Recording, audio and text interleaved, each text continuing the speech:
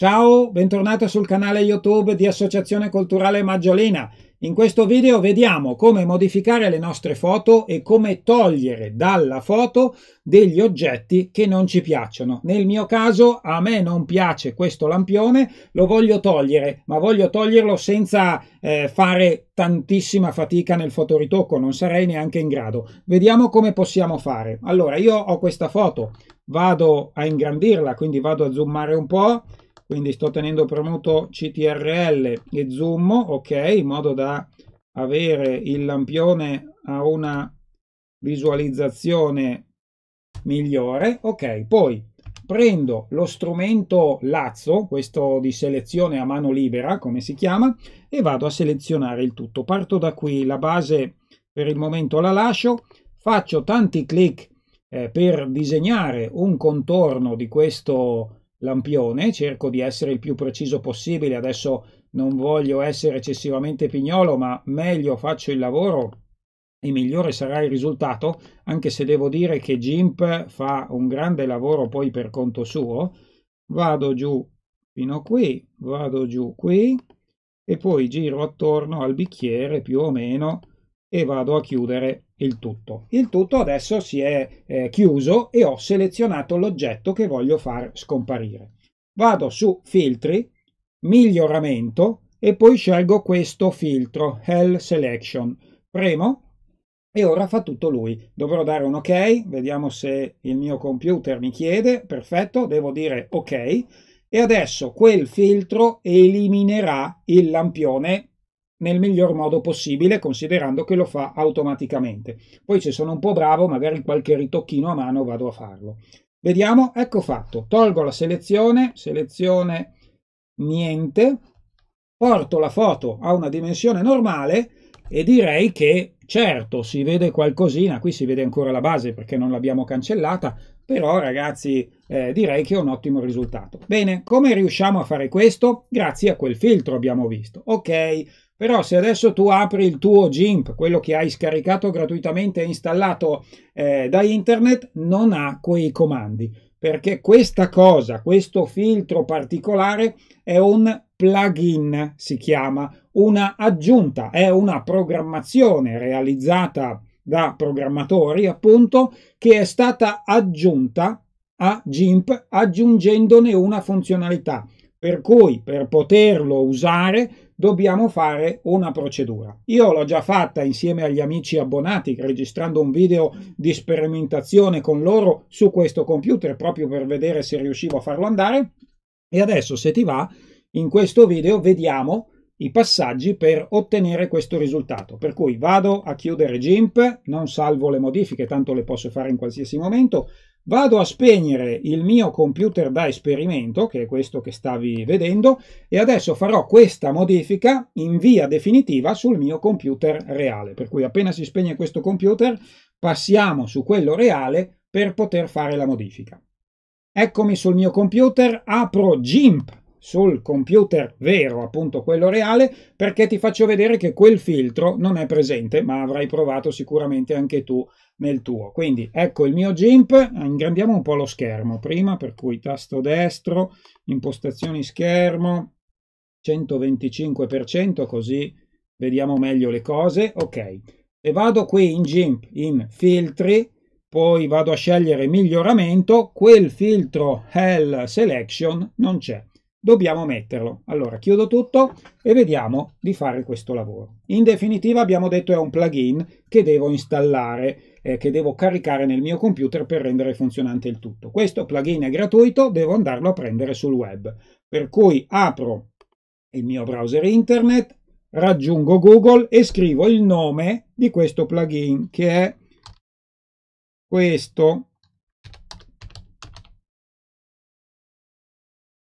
scriviamolo bene. Eccolo qua. Questo nome qui che non pronuncio conoscendo il mio inglese e ci aggiungiamo anche download.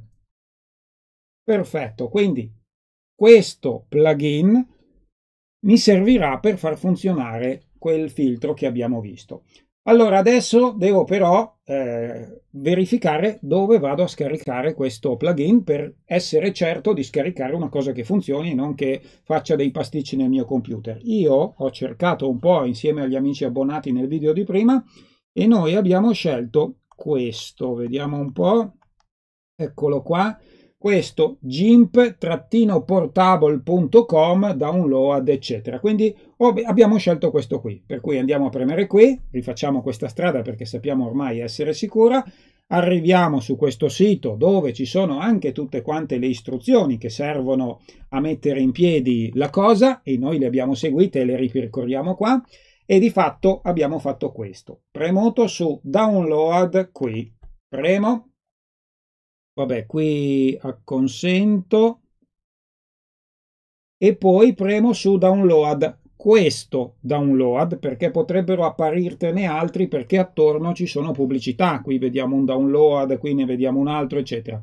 Questo download per cui premo qui e arriva questo file molto velocemente. Chiudo la finestra con la pubblicità e a questo punto ho finito. Posso chiudere il mio browser vado in Esplora File, perché adesso devo andare a vedere quello che ho scaricato, vado in Download ed eccomi qua, questo è ciò che ho scaricato. È un file compresso, quindi questo plugin è tutto compresso insieme.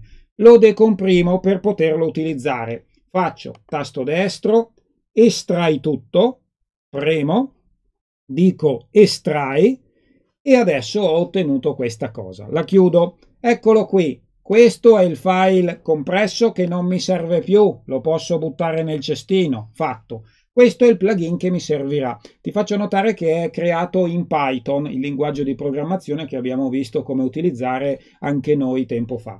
Entro dentro qui, vado dentro Win64 oppure Win32 a seconda del computer che hai. Se nel tuo computer c'è dentro Win, eh, Windows a 64 bit, vai in Win64. Se nel tuo computer c'è Windows a 32 bit, vai in Win32. Io vado in Win64 perché, nel mio, e perché il mio computer è a 64 bit, apro, seleziono quello che c'è dentro, lo copio, torno indietro qui e incollo quello che ho copiato prima, in modo che sia insieme. Bene, ora tutti questi file, tutta questa cosa che io sono andato a selezionare, la devo posizionare in un luogo specifico del computer, in una cartella particolare del computer dove ho il mio GIMP. Il problema è adesso che questa cartella particolare è in luoghi diversi a seconda del computer che stai utilizzando e a seconda di come hai utilizzato GIMP.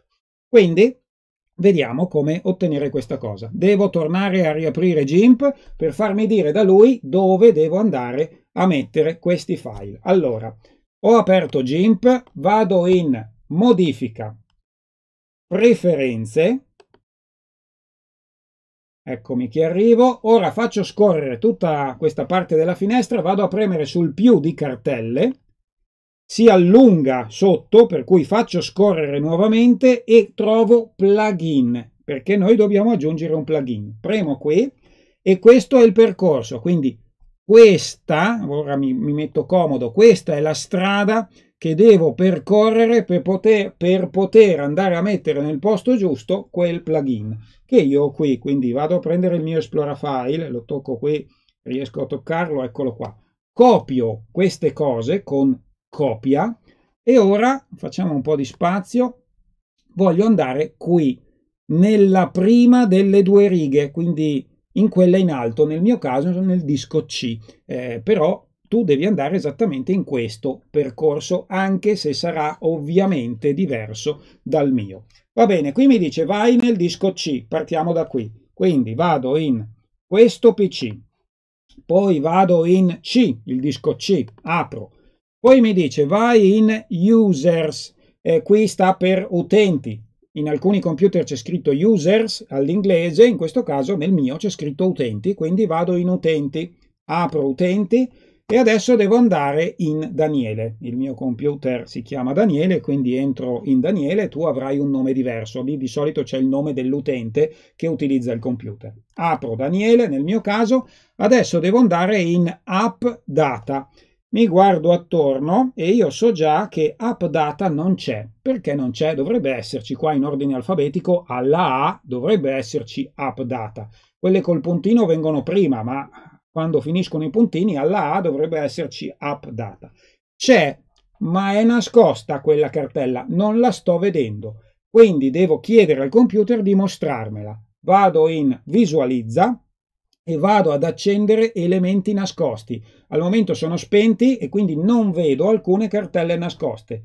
Lo accendo, ecco fatto, e ora riguardo il mio elenco e trovo anche app data che è un po' sbiadito se ci farai caso quando lo farai sul tuo computer, perché è un elemento nascosto, però ora puoi utilizzarlo.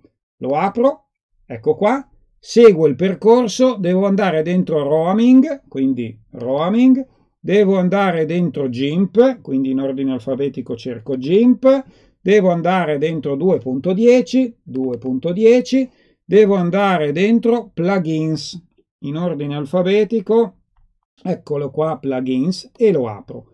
La trovo vuota, anche qui probabilmente è vuota anche la tua se non, mai, se non hai mai fatto operazioni di questo genere, ma non, non so dirti, magari ci trovi dentro già delle cose. Io vado a fare incolla, quindi torno in home e dico incolla.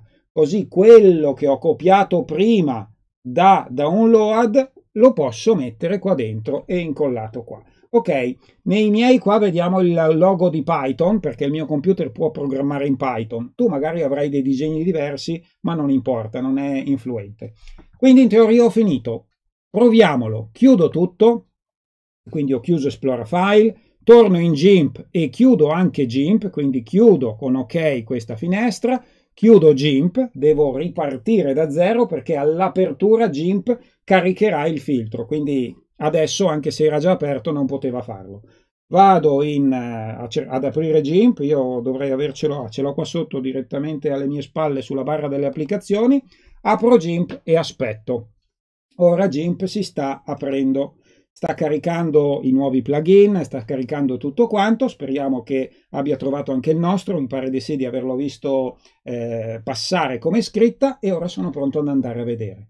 Filtri, miglioramento Hell Selection, eccolo qua, c'è. Quindi ora il mio computer è in grado di fare quella pulizia. Proviamo a rifarla. Vado ad aprire il file, in file apri, vado in immagini, pictures e quell'immagine che abbiamo fatto insieme prima si chiama 10 giugno, eccola qua, apro e ora aprirò questo file. Perfetto, ci siamo, zoom per vedere meglio il contenuto della finestra ok? Più in grande guardo e meglio riuscirò a seguire i contorni. In questo computer il mio lazzo è qua, quindi qui tengo premuto posso scegliere eventualmente, ad esempio prima c'erano le forbici, eh, quando eh, ho guardato prima di iniziare a fare il video, poi tenendo premuto qui sono andato su selezione libera e ora faccio la selezione libera. Voglio provare, sì, sto sempre sopra il bicchiere perché il bicchiere non lo voglio togliere. Sto selezionando facendo dei semplici clic, quindi cerco di posizionarmi al meglio. Ovviamente si può fare questa cosa anche con altre foto. Eh? Noi adesso stiamo togliendo solo questo lampione, ma posso togliere persone, posso togliere eh, fiori, posso togliere presumibilmente qualsiasi cosa. Poi magari ci sarà qualcosa che viene meglio e qualcosa che viene meno bene. Tutto dipende dalla selezione che hai fatto e da ciò che c'è d'intorno e quindi il programma, che è comunque un procedimento automatico, fa del suo meglio. Filtri, miglioramento, Hell Selection, che ora è attivo perché ho avuto una selezione, ho creato una selezione, premo, attendo che esca la finestrella per dire ok, dico ok e ora aspettiamo che il filtro abbia fatto il suo lavoro. Diamoci ancora qualche istante.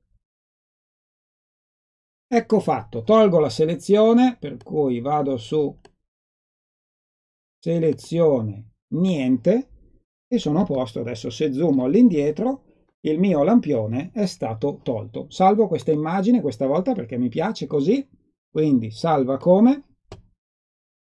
10 giugno, ah no, la voglio esportare, voglio che sia un JPEG, quindi esporta come? 10 giugno bis, lo chiamo. JPEG, quindi aggiungo il bis trattino bis e esporta.